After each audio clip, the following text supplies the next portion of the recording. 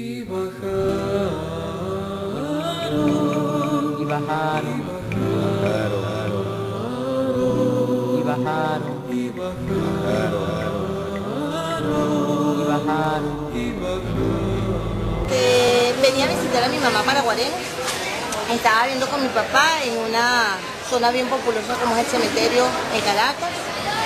De repente eran las 11, las 12 del día. Había muchísima gente en la Plaza Caracas, gente en la Avenida Lecuna, gente súper molesta. gente estaba en la calle. En la calle.